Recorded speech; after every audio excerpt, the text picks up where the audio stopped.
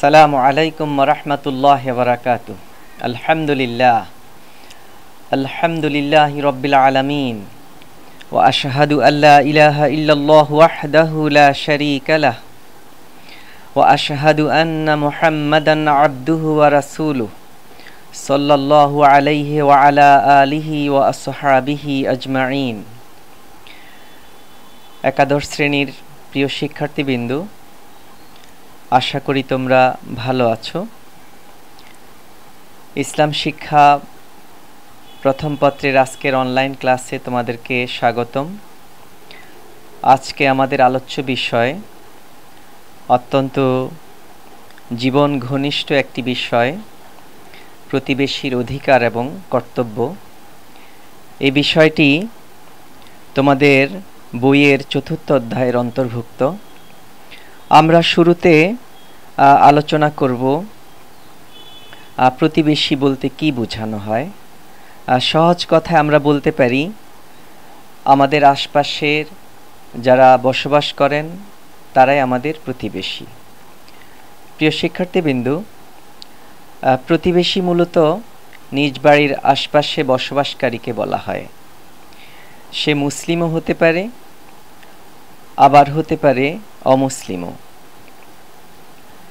হতে পারে পুণ্যবান অথবা পাপি সফর সঙ্গী অথবা কাজের সঙ্গীকেও প্রতিবেশী বলা হয়। অনুরূপভাবে বাজার, মসজিদ, শিক্ষা প্রতিষ্ঠান ইত্যাদির অভিন্নতার দিক থেকেও প্রতিবেশী হতে পারে। নিজ দেশের পার্শ্ববর্তী দেশ ও প্রতিবেশীর অন্তর্ভুক্ত। সেক্ষেত্রে প্রতিটি দেশের উপর প্রতিবেশীর, প্রতিবেশী দেশেরও নানা অধিকার রয়েছে। সুন্দর সহাবস্থান নিশ্চিত করার জন্যে প্রতিবেশীর প্রতি গুরুত্ব দেওয়া আবশ্যক। ইসলামী শরীয়তে প্রতিবেশীর প্রতি অত্যধিক গুরুত্ব দেওয়া হয়েছে এবং তার অধিকার খুব বড় করে দেখা হয়েছে। মহান আল্লাহ রাব্বুল আলমিন এ বিষয়ে সাত করেন আউজ বিল্লাহিমিন শৈতানির রাজিম বিসমিল্লাহির রহমানির রহিম ওয়াবুদুল্লাহ ওয়ালা তুশরিকু বিহি শাইআ ওয়াবিল ওয়ালিদাইনি ইহসানা وبذي القربى واليتامى والمساكين والجار ذي القربى والجار الجنب والصاحب بالذنب وابن السبيل ওয়ামা মালাকাত আইমানুকুম ইন্নাল্লাহ লা ইউহিব্বু মান কানা মুখতালান ফাখুরা আল্লাহ রাব্বুল আলামিন এখানে অনেকগুলো বিষয় নিয়ে এসেছেন। এর অর্থ হচ্ছে, তোমরা আল্লাহর ইবাদত করো, তার সাথে কাউকে শরিক করো না, আর পিতামাতার সাথে সদ্ব্যবহার করো সদ্ব্যবহার করো নিকটাত্মীয়ের সাথে ইয়াতি মেসকিন, নিকটাত্মীয় প্রতিবেশী, অনাত্মীয় প্রতিবেশী, পার্থসাথী, মুসাফির এবং তোমাদের মালিকানাভুক্ত দাসদাসীদের সাথে। নিশ্চয়ই আল্লাহ পছন্দ করেন না তাদেরকে যারা দাম্ভিক এবং অহংকারী। এই আয়াত থেকে আমরা মানুষের অধিকারের বিষয়ে কতগুলো দিক নির্দেশনা পেলাম। বিশেষ করে আজকে আমাদের যে আলোচ্য বিষয়, প্রতিবেশী, এখানে প্রতিবেশী সম্পর্কে সুস্পষ্ট নির্দেশনা প্রদান করা হয়েছে। সাহাবি আবদুল্লাহ ইবনু অমর রদি আল্লাহ আনহু থেকে বর্ণিত রসুল সাল্লাহ আলহিসাল্লাম এরশাদ করেছেন, মা জালা ইউসিনি জিব্রিলু বিলজার হাত্তা জনান্তু আন্নাহু সাইওয়ার রেসুহু অর্থাৎ জিব্রাইল আলহিসাল্লাম আমাকে প্রতিবেশী সম্পর্কে অনবরত এমনভাবে ওসিয়ত করতে থাকেন, এমনকি এক পর্যায়ে আমার ধারণা হয়েছিল যে আল্লাহ তালা প্রতিবেশীকে আমার উত্তরাধিকারী বানিয়ে দেবেন কিনা। এ ব্যাপারে আরেকটি হাদিস আমরা দেখতে পাই। সাহাবি আবু হরার রাদি আল্লাহ আনহু থেকে বর্ণিত একটি হাদিস। তিনি বর্ণনা করেন, রসুল সাল্লাহ সাল্লাম এরশাদ করেন, মান কানা ইউমিনু বিল্লাহি ওয়াল ইয়াউমিল আখির, ফালিয়াকুল খাইর আও লিয়াসমুত ওমান কানা ইউমিনু বিল্লাহি ওয়াল ইয়াউমিল আখির ফালইউকরিম জারাহ ওমান কানা ইউমিনু বিল্লাহি ওয়াল ইয়াউমিল আখির ফালইউকরিম দাইফা অর্থাৎ, যে ব্যক্তি যে ব্যক্তি আল্লাহ ও পরকালের প্রতি ইমান রাখে, সে যেন কল্যাণমূলক কথা বলে, না হয় নিশ্চুপ থাকে। আর যে ব্যক্তি আল্লাহ ও পরকালের প্রতি ইমান রাখে, সে যেন স্বীয় প্রতিবেশীর সম্মান করে। যে ব্যক্তি আল্লাহ পরকালের প্রতি ইমান রাখে, সে যেন নিজ মেহমানের মেহমানদারি করে। এ হাদিস থেকে আমরা যেটি বুঝতে পারলাম যে প্রতিবেশীর সাথে সুন্দর আচরণ করা, এটি শুধু একজন মুমিনের আচরণিক দিকেই নয়, বরং এটিকে মুমিনের ইমানের সাথে সম্পৃক্ত করা হয়েছে। আমরা এখানে দেখতে পেয়েছি যে রসুল সাল্লাহ সাল্লাম কি বলেছেন যে যে ব্যক্তি আল্লাহ এবং পরকালের প্রতি ইমান রাখে, অর্থাৎ ইমান রাখার দাবি পোষণ করে, যে নিজেকে ইমানদার বলে দাবি করে সে যেন প্রতিবেশীর সম্মান করে। এই রকম অসংখ্য হাদিস রয়েছে যা প্রতিবেশীর অধিকারের অপরিহার্যতার কথা প্রমাণ করে। শ্রেণি ও মর্যাদার তারতম্যের দিক থেকে প্রতিবেশী তিন প্রকার। এক নাম্বার, নিকট নিকটাত্মীয় মুসলিম প্রতিবেশী। নিকটাত্মীয় মুসলিম প্রতিবেশীর অধিকার সবচেয়ে বেশি। এক নাম্বার একটি হচ্ছে আত্মীয়তার দিক থেকে, আরেকটি হচ্ছে ইসলামের দিক থেকে, আরেকটি হচ্ছে প্রতিবেশিত্বের দিক থেকে। তাহলে আমরা তিন প্রকার প্রতিবেশীর প্রথম প্রকার যেটি বললাম, নিকটাত্মীয় মুসলিম, প্রতিবেশী। দ্বিতীয় নাম্বার, অনাত্মীয় মুসলিম, প্রতিবেশী।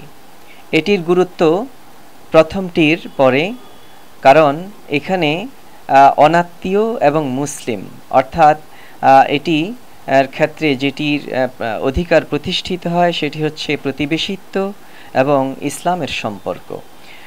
তিন নম্বর প্রতিবেশী হচ্ছে অমুসলিম প্রতিবেশী। এই প্রতিবেশীর অধিকার শুধু প্রতিবেশিত্ব। আমরা জানি, প্রতিবেশী নির্বাচনের গুরুত্ব অনেক বেশি।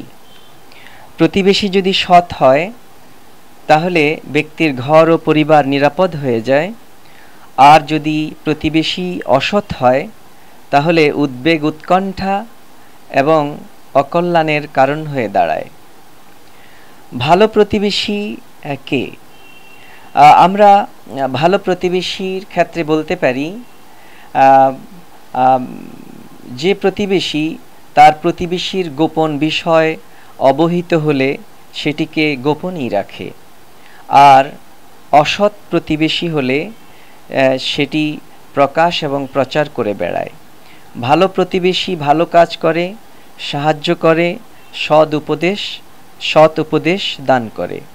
অন্যদিকে অসৎ প্রতিবেশী সে সাধারণত ধোকা দিয়ে তার প্রতিবেশীকে বিপদে ফেলার চেষ্টা করে। প্রতিবেশীর দুঃখে সে আনন্দিত হয়। আল্লাহ রাব্বুল আলমিন আমাদের সকলকে যথার্থরূপে প্রতিবেশীর যাবতীয় অধিকার আদায় করার তৌফিক দান করুন, আমিন। প্রিয় শিক্ষার্থীবিন্দু, এই মুহূর্তে আমি আলোচনা করব প্রতিবেশীর অনেকগুলো অধিকার রয়েছে। তার মধ্যে কতগুলো গুরুত্বপূর্ণ অধিকার হচ্ছে এক নাম্বার প্রতিবেশীকে কষ্ট না দেয়া। ব্যক্তি তার প্রতিবেশী থেকে সম্পূর্ণ নিরাপদ থাকে, কোনো ব্যক্তি তার প্রতিবেশীকে কোনোরূপ কষ্ট দেবে না। নির্যাতন করবে না, হয়রানিতে ফেলবে না, হোক তা কথা অথবা কাজের মাধ্যমে। যেমন, অভিশাপ দেয়া, গালমন্দ করা, গিবত করা, এমন কথা বলা যা প্রতিবেশীকে কষ্ট দেয়।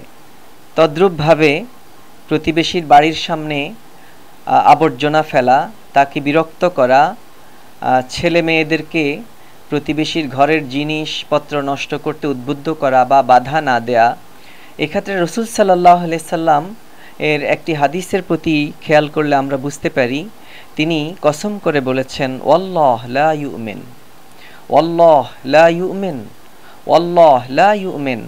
কলু ওয়ামা দা কাইয়া রাসুল আল্লাহ আল্লাহর আল জারুলা আমানু জারুহু রসুল সাল্লাহ সাল্লাম কসম করেছেন তিনি বলেন যে আল্লাহর কসম সে ব্যক্তি মুমিন নয়। আল্লাহর কসম সে ব্যক্তি মুমিন নয়। আল্লাহর কসম সে ব্যক্তি মুমিন নয়। এভাবে রসুল সাল্লাহ সাল্লাম তিনবার কসম করলেন। তাকে প্রশ্ন করা হলো, হে আল্লাহ রসুল সাল্লাহ সাল্লাম, কে সেই কে সে যে মুমিন নয়? তখন রসুল সাল্লাহ সাল্লাম বললেন, প্রতিবেশী, যার কষ্ট থেকে তার প্রতিবেশী নিরাপদ নয়। নবী করিম সাল্লাহ সাল্লাম আরও এরশাদ করেন লায়াদুল জান্না মাল্লা ইয়ামানু সেই ব্যক্তি জান্নাতে প্রবেশ করবে না, যার প্রতিবেশী তার কষ্ট থেকে নিরাপত্তা বোধ করে না।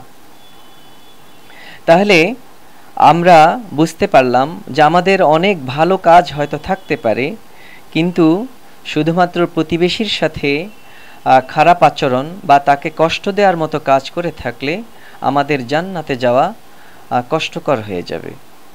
প্রতিবেশীর সাথে দ্বিতীয় যেই কাজটি করতে হবে সেটি হচ্ছে তার প্রয়োজনে তাকে সাহায্য করা এবং সে যদি নিত্য ব্যবহার্য কোনো জিনিস চাইতে আসে, তাহলে সেটি তাকে দান করা বা ধার দেয়া।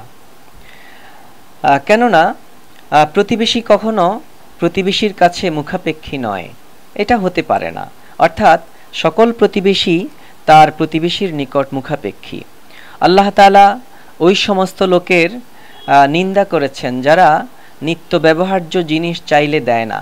যেমন সুরা মাউনের মধ্যে আল্লাহ বলেছেন, এটি তাদের দোষের কথা বলেছেন ওয়াম নাউন আল মাউন, যে তারা নিত্য ব্যবহার্য জিনিস অন্যকে দেয় না। প্রতিবেশীর প্রতি তিন নম্বর কর্তব্য হচ্ছে প্রতিবেশীকে উপহার দেয়া এবং তার বাড়িতে খাবার বা কোনো ভালো জিনিস তৈরি হলে সেটিকে প্রেরণ করা। আবুজর রাদি আল্লাহ আনহু থেকে বর্ণিত, তিনি বলেন, রসুল সাল্লাহ আলাইসাল্লাম ইরশাদ করেছেন, তুমি যখন তরকারি রান্না করবে, তখন তাতে একটু বেশি করে পানি দেবে, অতপর তোমার প্রতিবেশীর কারও খবর নিয়ে তা থেকে তাদেরকে কিছু দেবে। চার নাম্বার আমরা বলতে পারি, প্রতিবেশীর চার নাম্বার অধিকার হচ্ছে তার প্রয়োজনে তাকে সাহায্য সহযোগিতা করে তার দেখাশোনা করা। রসুল সাল্লাহ সাল্লাম এরশাদ করেন, লাইসাল মুমিনুল্লাজি ইয়াশবা ওয়াজারুহু জাউন ইলা জাম্বি সে ব্যক্তি মুমিন নয়, যে পেট ভরে খায়, অথচ তার পাশেই প্রতিবেশী ক্ষুধার্ত থাকে। পাঁচ নাম্বার অধিকার হচ্ছে, প্রতিবেশীর ভালো কোনো সংবাদ পেলে তাকে মোবারকবাদ জানানো, তার সুসংবাদে খুশি হওয়া এবং আনন্দ প্রকাশ করা। যেমন প্রতিবেশীদের মধ্যে কারও বিবাহ হলে, সন্তান জন্ম নিলে, সন্তান পরীক্ষা উত্তীর্ণ হলে এবং এই জাতীয় বিভিন্ন উপলক্ষে মোবারকবাদ জানানো এবং তাদের বরকতের জন্যে দোয়া করা, এটিও একটি কর্তব্যের মধ্যে পড়ে। ছয় নাম্বার হচ্ছে প্রতিবেশী যদি অসুস্থ হয়, তাহলে তার খোঁজ খবর নেয়া এবং তাকে সান্ত্বনা দিতে যাওয়া। সাত নাম্বার হচ্ছে কোনো প্রতিবেশী যদি মৃত্যুবরণ করেন তাহলে তার জানাজায় অংশগ্রহণ করা এবং শোকাহত পরিবারের প্রতি সান্ত্বনা জ্ঞাপন করা। আট নম্বর কর্তব্য হচ্ছে প্রতিবেশী যদি অমুসলিমও হয় তাহলে তার সাথে সুন্দর আচরণ করতে হবে এবং অধিকারের ক্ষেত্রে অমুসলিম বলে তাকে ঠকানো যাবে না, বরং তার পূর্ণ ন্যায্যতা প্রদান করতে হবে, তার প্রাপ্য অধিকার তাকে ফিরিয়ে দিতে হবে। নয় নম্বর অধিকার হচ্ছে প্রতিবেশীর প্রতি দয়া এবং অনুগ্রহ করা। রসুল সাল্লাহ সাল্লাম এই ক্ষেত্রে ইস্বাদ করেন মানকানা ইউমিনু বিল্লাহ ওয়াল ইয়াউমিল আখির জারাহ। যে ব্যক্তি আল্লাহ এবং পরকালের প্রতি ইমান রাখে, সে যেন তার প্রতিবেশীকে সম্মান করে। প্রিয় শিক্ষার্থীবৃন্দু অত্যন্ত সংক্ষিপ্ত আলোচনার মাধ্যমে আমরা প্রতিবেশী কি এবং প্রতিবেশীর প্রতি আমাদের করণীয়, দায়িত্ব, কর্তব্য এগুলো সম্পর্কে আমি আলোচনা করার চেষ্টা করেছি। আশা করি তোমরা এবং আমি সহ আমরা যারা শুনলাম, আমরা সকলেই এটি থেকে উপকৃত হব ইনশাল্লাহ সুবহানাক আল্লাহুম্মা বিহামদিক। আশহাদু আল্লা ইলাহা ইল্লা আনত। আস্তাগফিরুকা ওয়া আতুবু ইলাইক।